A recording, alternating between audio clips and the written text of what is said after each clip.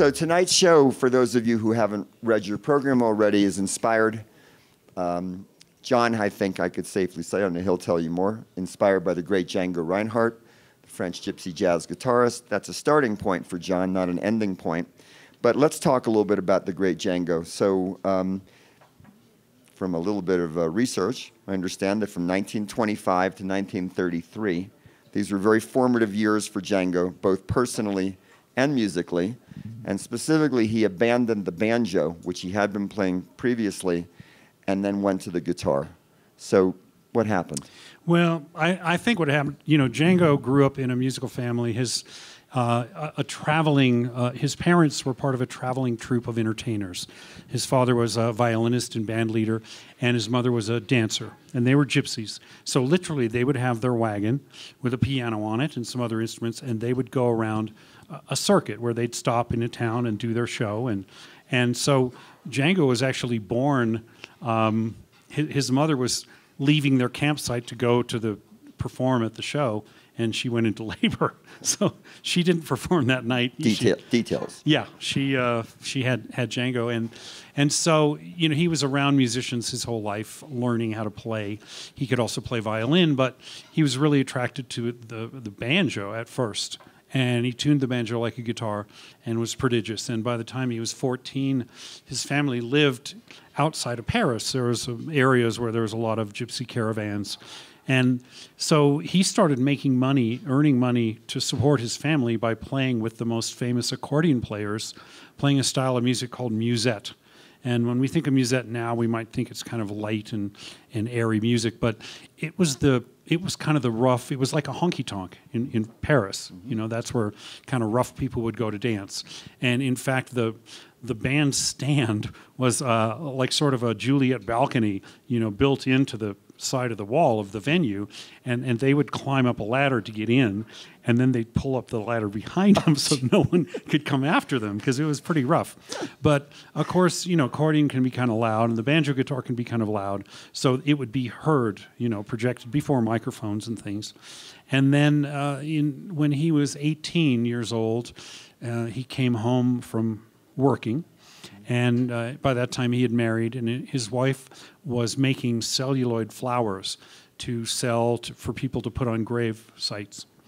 Well, so their, their little caravan was full of those, and and Django was changing clothes and he had a candle to see by, and he moved quickly. Wax fell off the candle onto that celluloid, and the place just burst into flames. And he was able to get his wife out, and he was able to get himself out. Um, he wrapped a blanket around himself, but he held the blanket with his left hand, and his left leg was exposed. So those got severely burned. And his relatives took him to a hospital, which gypsies at that time didn't like anything like a building that couldn't move. You know, their houses were movable, and that's so they were superstitious of a, a building. You know, like so just to go in the hospital was kind of a, a stretch. And then the, they said they wanted to amputate his leg, and they're like, "No, we're not doing that." So they took him somewhere else, and they started, uh, you know, putting ointments on and stuff, and, and trying to help him recover. And you know, his hand was burned really badly so that these two fingers, ring finger and little finger, were pulled back like that, and the tendons were, were scarred and burned in such a way that he couldn't open them or straighten them out. So they were just stuck in that position. So everyone thought, oh, he's never going to play again. You know, this was our. He, he was really a star already within his community because his his talent was so obvious and charisma, and uh, so one day, uh, one of his friends thought, you know, maybe if I bring a guitar, you know, it might help his hand to to heal a little bit more if he's moving his fingers or whatever like that. Well, he started to mess around with the guitar and figured out how to play basically just using these two fingers. And and that was before he became the most famous guitarist in the world. So that was in in the well, he was born in 1910, so that would have been uh, 1928. Uh, and and then in, in the 30s, he, he was accompanying Jean Sablon. Jean Sablon was like the uh, Bing Crosby of, of France, you know, a popular crooner. And then some people, uh, kind of people that had a jazz society there in, in France, and they would get together to listen to jazz records because that was a difficult thing to hear jazz, you know. And Django heard uh, Louis Armstrong and just fell in love with that sound of, of New Orleans jazz and also the jazz of Duke Ellington and uh, the the stuff that was coming out of America in those days. So he started to try to play that on the guitar and and these people said we should form a little group around this guy so he met Stéphane Grappelli who was a fantastic violinist who also played jazz which was unusual and then they had another friend playing a rhythm guitar another friend playing the bass like this and uh, they did a little show and, and Stéphane could tell that Django was not happy he said what's wrong he said well when you're playing a solo, you have me and our rhythm guitarist behind you. You have two guitarists behind you. When I'm playing a solo, I only have one guitar. And so Stéphane said, oh, fine, let's get your brother. So you'll have two behind you. And that became the, the quintet of the Hot Club of France. And because jazz in those days was sort of raucous, you know, mostly like trumpet, trombone, saxophone, drums, things like that, um, this was a jazz group that was all string instruments. So it was much more quiet, elegant, delicate, and they became kind of the hit of the Paris. Uh, what would you say the the the Paris elite really they they love this and music. This is, this is the late twenties, early thirties. This would be they first recorded in 1934, so this would Mid-30s. be 35, 36, yeah, mm-hmm. that that kind of time period, and they became very popular uh, among the Society of France, mm-hmm. and they recorded. People heard their records. There were some impresarios from England that came to see them, brought them over to England to tour a number of times, and uh, they were even more popular in England probably than in France because they toured there quite a bit. And then uh, in when when Paris got occupied, when the war broke out, they were supposed to start a tour in England. Well, Django decided to go home. Stéphane Grappelli stayed there. Mm-hmm. So during the war, they were they were not together. Mm-hmm. And Django, being in Paris at that time and a jazz musician, um, you couldn't get American jazz records in, in France at that time. So any French artists that played jazz were very, very popular. So that was his, as far as popularity, that was his most popular time was during the occupation. And even the, you know, even the German soldiers and guards were fans of his. You know, he tried to leave at one point, got over the Swiss border, and then he got lost and tried to come back. Well, the border guard was a a fan and let him back in. So, you know, he wasn't a sympathizer. He was just trying to make do during this time period. And then, strangely, he was reunited with Stéphane Grappelli after the war. But his music, especially in France, reminded everyone of the occupation. So they didn't want to hear that sound anymore. So he became uh, passe in a way, or just you know we don't want to hear that. And he, he, that disappointed him a lot. So he started painting more than even playing the guitar. But in 1946, Duke Ellington invited him to America, his only time to America, and he was a guest soloist on Duke's tour at that time.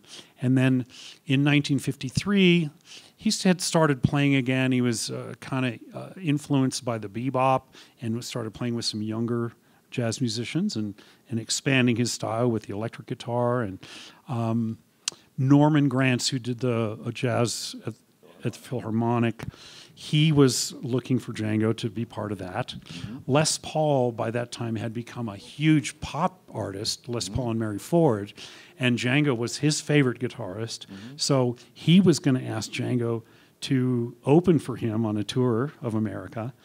And Bing Crosby who uh, Eddie Lang had been his guitar accompanist, and Eddie Lang had passed away, and and he was looking for Django as well.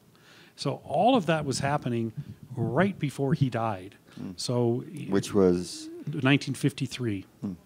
and uh, it, he had a stroke, and uh, you know had had that not happened, there you know it would would have gone further. A lot of more people would know about him. Yeah, I'd like to back up a minute. You said something which I had actually never heard before, and I'd, I'd, like to know a little bit more about this. You said that in France, at that time. It was almost impossible to get jazz records. Yeah. Well, I'm just floored by that. How did that? So how were they? Well, they were occupied by the Germans occupied Paris at that time. But uh, even So- un- even underground were, were recordings not making it into people's. you could, you know, probably like they would make those. Uh, uh, what was the U.S. Armed Forces radio? Mm-hmm. You know, things that would be broadcast. Well, maybe someone could get that and make a tape of it or something like that.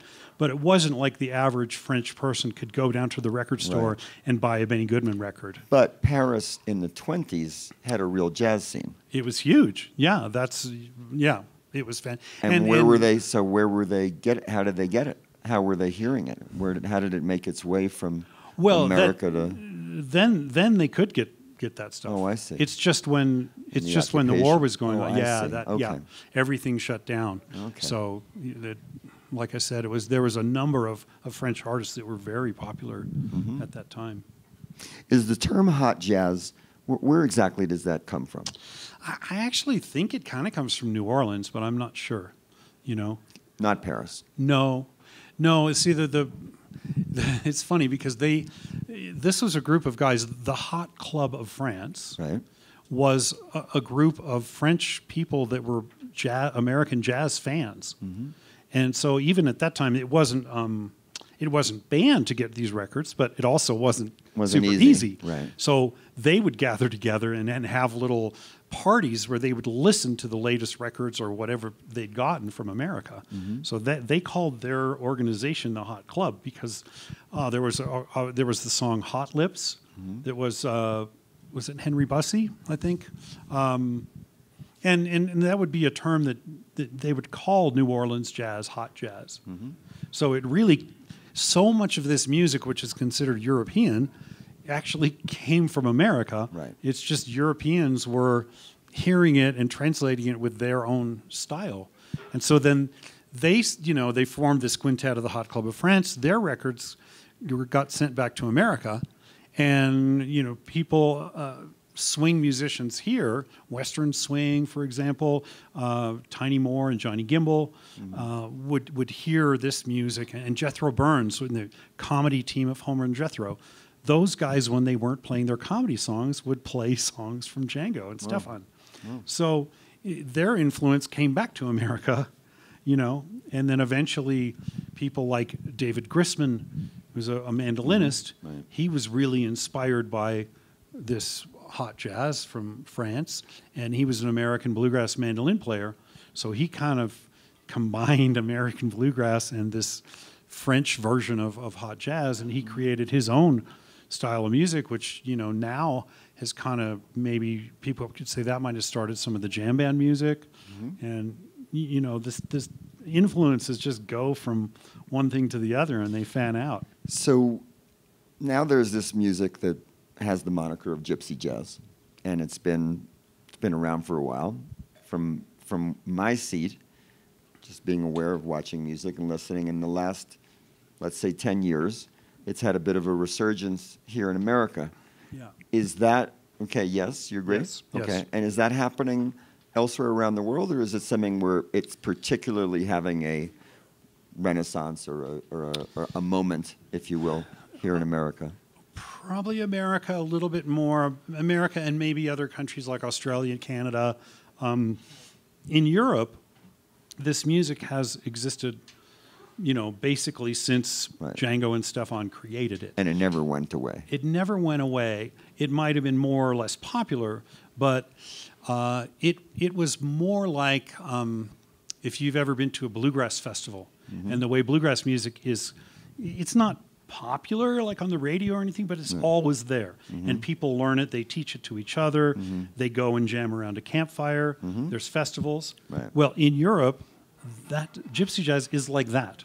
What is the name of? There's a, uh Cyril I may mention this. There's a town on the outskirts of Paris where they do the Gypsy Gathering Festival, and Well, they all come and play. yeah, something well, sur mer is that? This uh, Saint-Marie sur le Mer is one. That's a big gypsy gathering of all gypsies from all over Europe. that must be fun. Oh, it, it, it's amazing. And then there's also a uh, the where food. The, the the last uh, the place where Django spent the last few years of his life is called Samois sur Seine, and it's a, a small village south of Paris on the Seine River, Mm-hmm. and they have a festival. They started like maybe f- the fifth anniversary of his death or something like that. They Mm-hmm. they started having a festival there of, of this style of music, Mm-hmm. and it's grown to the point where now they have it every year, and uh, I'm really this is one of my most proud moments as a an American musician who loves this style of music. Um, I'm the only American gypsy jazz guitarist that has ever headlined that festival. Wow, that's big. So, uh, uh, well, thank you. Uh, That's huge. You know, the French are very particular, so. oh, and, and there was a, a you know a lot of people in the audience were like this, and uh, I was very nervous, but Incroyable. you know by by a, you know within a couple of songs they could realize that how much I love this music and you know what Sure. what I wanted to bring to it. So. Well, speaking of which, you were mentioning before this thing about the two fingers. Can you pick up your guitar for a second and Sure. just helps help us all here understand because it's a it's quite an uh, extraordinary technique. Sure. If you've never seen this before, um, So, you know, American guitar players, you see a lot of this kind of chord. This is called a bar chord, where you use your first finger all the way across, and then these other fingers you're going to create other notes with. Um, so, in order to do that chord, Django wouldn't he wouldn't use that chord. So he he found all these other chords, which were more col- colorful chords, really, uh, six nine chords, and then for single note things, he would also use his.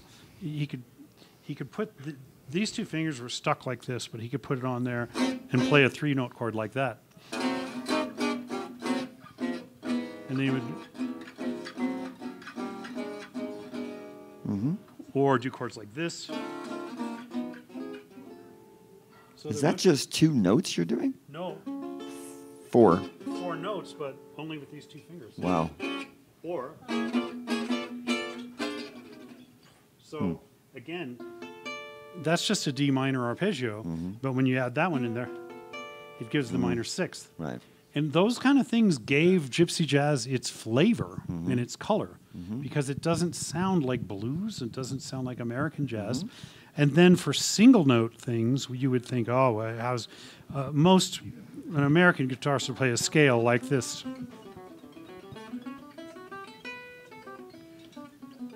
With, with all your fingers across the strings, but Django would play up up and down like that.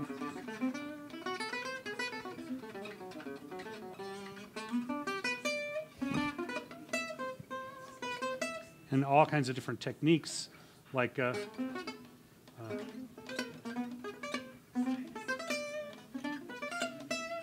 and double, like double down, where you.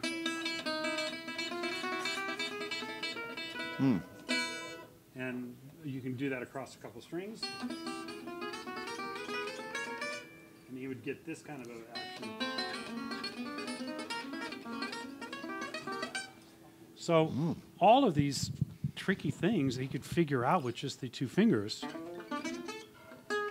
You know, play a scale instead of uh, uh,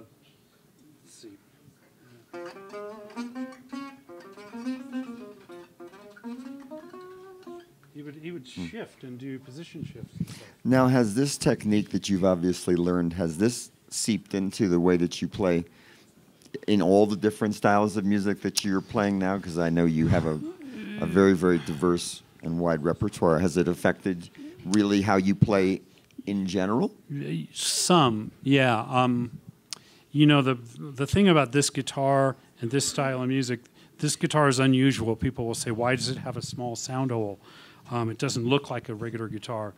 It's because it's not. It's it's completely different design. Um, it has some things in common with some other guitars, but it it's not completely flat. It's got a slight dome. Is here. this a custom guitar? No, the, well, this is the well, it is a signature model guitar Okay. that, that it's uh, of mine, but it's patterned after the guitars that Django played. They were built by the Selmer Company in France, Right. who was very known for saxophones and clarinets, and um, but they, so it's a French, uh, it's an Italian designer that the French hired. Mario Maccaferri was the designer. Mm-hmm. Selmer was the builder, mm-hmm. and so it has a domed front right here. Uh, it has a, a tailpiece and bridge that are movable, mm-hmm. like a carved arch top, but it's not carved; it's pressed. the a folk guitar, a Martin guitar, will have an X brace, which means under the under the soundboard you have things that support the top in an X pattern. The, the classical guitars have called ladder brace, and they they go across like a ladder. Well, this has ladder bracing on it, like a mm-hmm. classical. It's got a headstock like a classical, mm-hmm. but the sta- the scale of the neck is longer than even a Fender guitar. It's very long scale, mm-hmm. so the strings are tight, but they're very light gauge strings, hmm. so they're not so hard to play. So everything about it is is unique, and even the pick is unique. It's very very thick. This is five millimeters thick, mm-hmm. and usually people use tortoiseshell or some sort of a false tortoiseshell, so that you can get a lot of sound out of out of the guitar. Mm-hmm. So, any but to answer your question.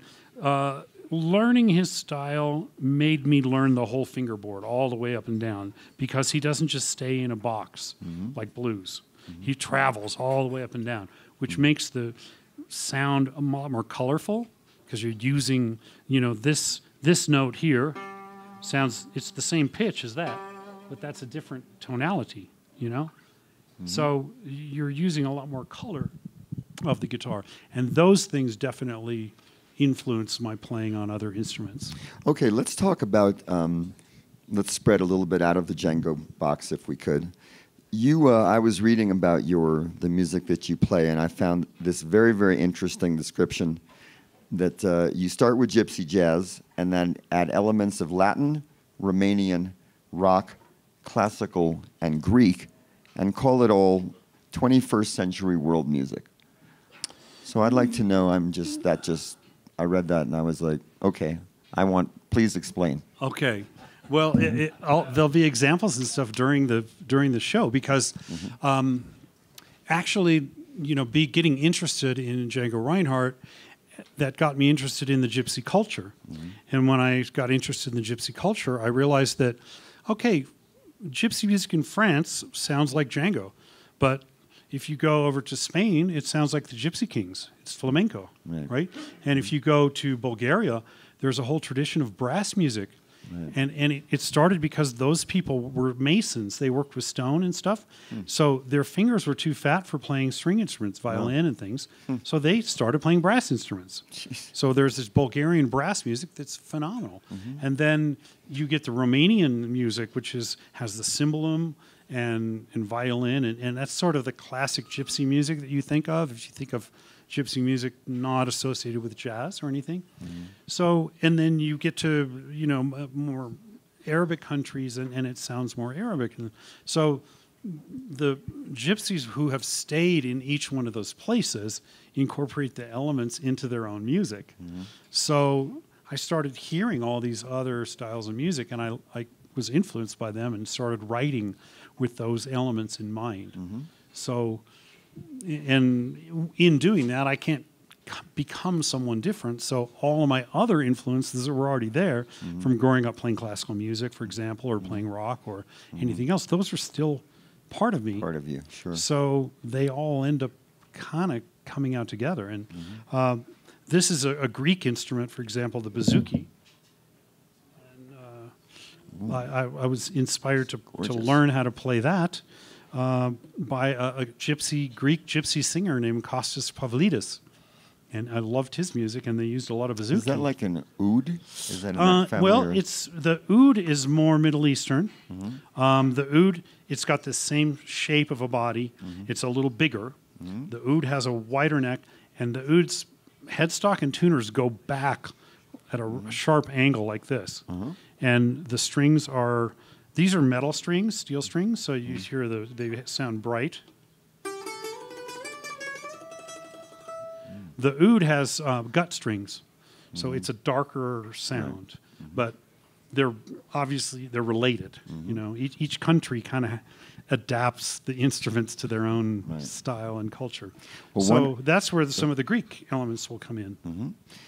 And yeah, so one of the things that that we've had a wonderful time with here at this series, which we have a little sub moniker "Jazz Spoken" globally, because there are so many musicians from so many other cultures and countries, as you talk about, who have looked through this music through the prism of their own experience, and what pops out is something quite unique.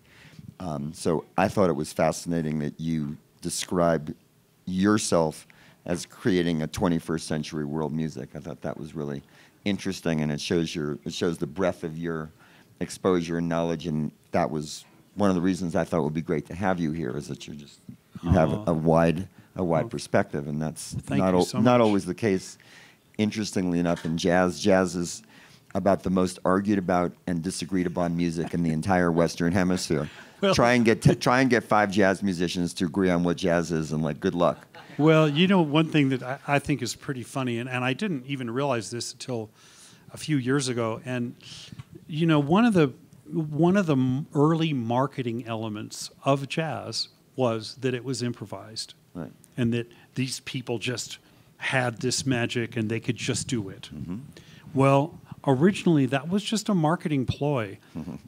From the record companies. Mm-hmm. They were trying to explain this new music mm-hmm. because in the early days of recording, you had to play exactly what you were going to play. It had to be, there was only a certain amount of time that you could have mm-hmm. on the piece of wax or whatever that they were carving this record. And if you played too loud, it, it could cause the needle to jump hmm. or too soft. So you would have to show the engineers in the studio exactly what you were going to do and make sure it didn't go out of any of these parameters, mm-hmm. right? Mm-hmm. So this was originally this was not improvised. Mm-hmm. It was very set, you know. But that marketing aspect took off, and people believed that, and it sort of became true after the fact. But originally, it was not true. Yeah. Well, a lot of people don't realize that in classical music, if you go back to Mozart and Bach, they were great improvisers. Um, there's, there's the, what when you listen to many pieces and they play them, and then they go back and there's another another version of the same chords, but with all kinds of different fills. And it's a it's a fascinating thing to me how in classical music that art is somewhat for players is somewhat lost today. And most young most young classical musicians who can play the most magnificent uh, players of, of things that are written down are absolutely lost Yeah. at the concept of improvis- improvising. They just they wouldn't know where to begin. Well, and the cadenza, which was a big part of every you know concerto or something, Right. it's supposed to be Right. improvised. You know, you're supposed to make it up. So um, a lot of people don't realize, and I, I don't understand it, but you do. So why don't you tell us a little bit how it's a lot of guitar, famous guitar players will list Django as one of their influences, and I'll name three of them, and just give us a little insight into Okay. some of the people like Sure. Eric Clapton, Chet Atkins, and Keith Richards, all of whom say that Django was one of their primary influences. Well, uh, Chet Atkins, I, I I could speak pretty pretty much of because uh, he not only he recorded a lot of Django's songs. One of them called Django's Castle. Uh, the original French title was Manoir de mes rêves, which means House of My Dreams, but he recorded it as Django's Castle, and he he went on record to say that Django was the only musician that he ever went and asked for his autograph. So he drove up from East Tennessee, where he was living at the time, mm-hmm. to see Django with Duke Ellington in 1946 in Chicago, Wow. and waited by the stage door, mm-hmm. got his program signed, and I wish I had that program. I knew who does have it, but uh, but yeah. So then Chet Atkins, of course, went on to influence pretty much everyone in country, not only as a player but as a producer, mm-hmm. producing people like the Everly Brothers and on and on. So. You, you know that's one thread from Django that went on mm-hmm. through all of these things. Um, Charlie Christian was an early jazz guitarist. Mm-hmm. Was probably the first American jazz guitar soloist. He was featured in Benny Goodman's sextet. And he obviously loved Django because there's a recording of him playing St. Louis Blues. And the first three choruses, he plays Django's solos. And mm-hmm. then he goes off into his own. And then he would go on to influence every jazz guitarist. George Benson, for example, says Django is his favorite. And George Benson would influence all these. So, and the rock guitarists uh, of the 60s, especially, um, Peter Frampton is a good friend of mine. His father's favorite guitarist was Django.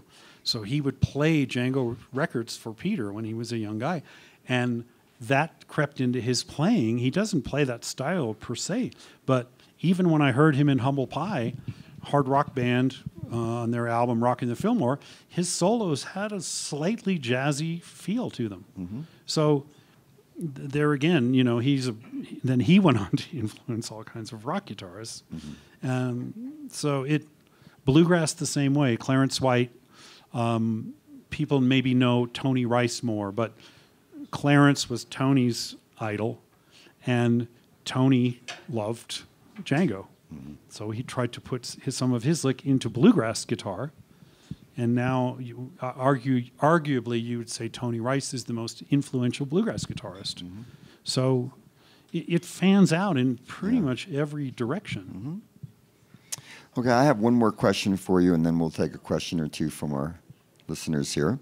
This is one of my favorite questions to ask visiting uh, artists. Just imagine that you get some bad news. You're told, John, it's been great, but you are being sent to a desert island for the rest of your life. Sorry. However, the good news is there will be a CD player there, and you will have three CDs that you can take with you, and you will be able to. You will never die. You will live for eternity. And what are the three CDs that you could listen to forever and never get? What are the three CDs you could not ah. live without? Oh, this is difficult, but That's the idea. Yeah. Well, yeah, I guess, you know, one of them would have to be some sort of a compilation, whichever I could find that had the most of Django's songs on it. um, you know, there's been a bunch of different CD compilations of his music. Okay, so a Django compilation. Yeah, one would be that. Um, one would be uh, the, the St. Louis Symphony uh, with Leonard Slatkin as the conductor, doing uh, Ralph Vaughan Williams' Fantasia on a Theme by Thomas Tallis. Who knows that recording? Have you ever heard the piece? That's Do- why. do- That's why I always ask. I'm going to go right. I have. to. Ralph Vaughan Williams is a, a British composer. Beautiful, beautiful music. And uh, Thomas Tallis was a, um, oh, what's the, I forget the word for the kind of an ancient, more ancient style of music, not not Gregorian chant, but um, something after that. But anyway, it was a melody from an old, very old melody, and and Ralph Vaughan Williams English. yeah. Okay. Took that melody and uh, did a, a whole symphonic thing with it. It's just, it's, uh, yeah, it's so Tremendous. beautiful. And uh, so that would be, that would have to be there. And then, uh, oh God, this is, the, this is really difficult. I think eh, it, might have to be the extended version of The Who live at Leeds. because that every time I hear it, it makes me feel good. So, you know. Pardon? The Who. The Who live at Leeds. Live at Leeds. Yeah. That's England, I think. Yeah. Okay. Well, we could go on and on here, but uh, we're, we're towards the end of our allotted time. So I would like to open it up. If anyone has a question of, oh, there we go. John, did, did I understand you said you, you got started in classical music? Mm-hmm. Because I think Jim also got started in Florida in classical music. How did you make, how did you evolve into jazz music? Jim, same answer, same question to you. How did you make that transition? The question for those of you who couldn't hear it was that the perception is that John got started in classical music, classical guitar, and then evolved into other, all kinds of other things, Django and beyond. And how did that happen? Yeah. I'm not the same. I thought you started in classical music. The Beatles. Oh, okay. See, that's that's also classical music to me. So, uh, yeah. Show me, show music, and the Beatles was my start. Okay. Well, my parents were both classical musicians. My mom was a piano teacher and taught piano in our house. My father was a conductor at the University of Redlands. So I was always around music from when I was really young. And I started first on the piano when I was five. Uh, I would sit and listen to my sister practice, who was two years older. And, you know, not to be outdone, I would learn her songs by ear and play them on the piano. That's the and key. my mom, being very smart at the time, she started me in a different book so that I would also learn how to read music. And then uh, again, my sister, two years older, in fifth grade, it, those days you could pick a band instrument and learn that in fifth grade. So again, I was not going to be outdone. If she was going to play two instruments, then I was going to play two instruments. So I chose the clarinet, and I started that when I was eight. And Do you still play clarinet? All right. All right. I like that. So, I, and then when then when I was about ten, I, I really got interested in the guitar, and we had a ukulele around our house, so I started playing that. Um, it didn't sound so good for Day Tripper and things like that. So, uh, and my parents did originally didn't want to get me a guitar because they thought that it would be. It was a fad and it wasn't a serious music and and I was already practicing and taking lessons on piano and clarinet. So they felt yeah, a kid's got to do something besides practice, you know. Mm. But I started borrowing guitars from other people, and you know, it's I sort of shamed them into getting me a guitar, and it took two years. And when I was 12, I got my first guitar, and I just loved it, and I, I just practiced all the time. And they told me that I could only practice the guitar after I'd practiced the piano and the clarinet. but it was an electric guitar, so I could just unplug it and practice without any sound. So, so eventually the guitar kind of overtook the piano. I can still play it a bit, but you know, I I stopped when I was 13, uh, really playing it seriously. And then, um, all through my schooling and through college, uh, I studied classical music. I eventually took a degree in bassoon, clarinet, and saxophone, and all the while playing rock and jazz and learning other things and and then th- there's a huge Aspen connection for me in my whole musical development. Actually, uh, in 1978, the Aspen Music Festival was starting a jazz program. With And- Ted Piltzecker? Or is it Exactly. With Ted. Exactly. Okay. Ted Piltzecker, who was a vibes player, and Yeah. there was a jazz program. I heard it many shows. Benedict Tent. And so they, uh, somebody from UCLA was also mm, involved in putting it together, and they were bringing a drummer from UCLA that I used to be in a band with. They asked him, "Who do you want to be a bass player?" And he said, "Me." So I had a scholarship as a jazz bass player to the Aspen Music Festival, and I accepted it as long as I could also be in the classical program playing the bassoon. So I was here for that whole summer, and they I got my tuition paid for and my board paid for, but uh, I mean my room paid for, but no food.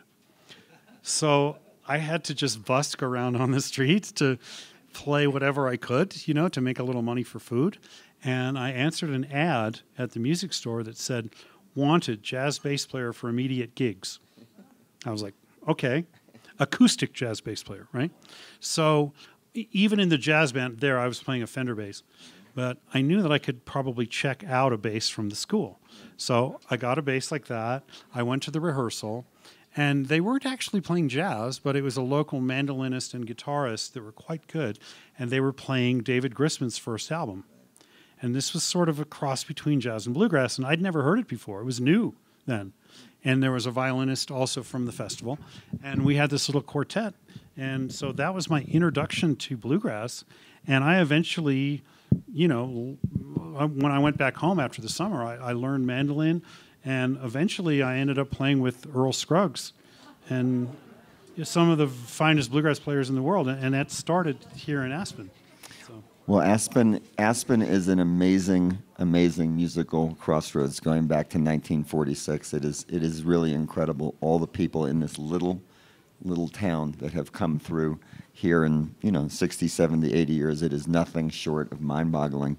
When you go back to some of the early pictures from the music festival and see what was going on, and it's just stunning. Well, and And did you know, by the way, that at the old Red Onion, okay, on the walls of the Red Onion, there were pictures of Ray Brown, Billie Holiday, and Oscar Peterson, the giants of jazz who performed here in Aspen in the 1950s at the Red Onion. It's just a Oh, wonderful little piece of, of jazz uh, history that you just wouldn't know unless you just happen to know who they are. And one night I was there and I was like, oh my God yeah. Oh my God, that's. And you could see there they were. And I asked the bartender, I said, what are these? Fo-" I said, oh, they played here. Well, Back the- then. and then Freddie Fisher and just, and the something, by the way, if anyone ever heard of a, f- something called a jazz, the jazz party.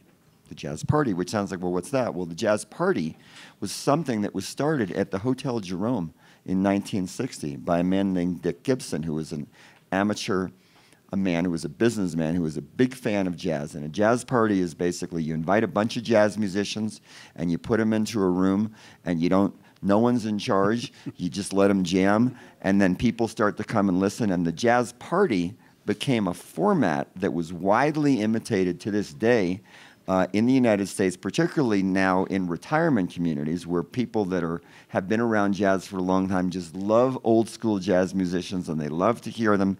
And that started right here in Aspen, Colorado. It eventually became known, known as Gibson's Jazz Party.